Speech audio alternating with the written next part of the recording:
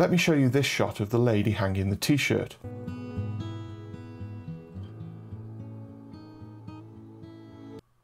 As you can see from the inspector, this clip is 23.976 frames per second, just like the timeline.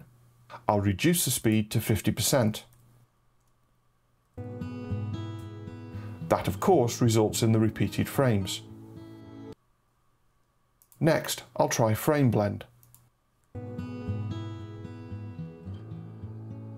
Better, but let's see what optical flow can do.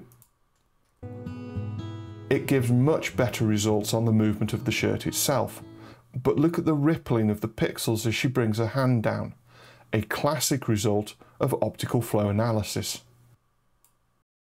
All is not lost though because I can try adjusting the motion estimation controls.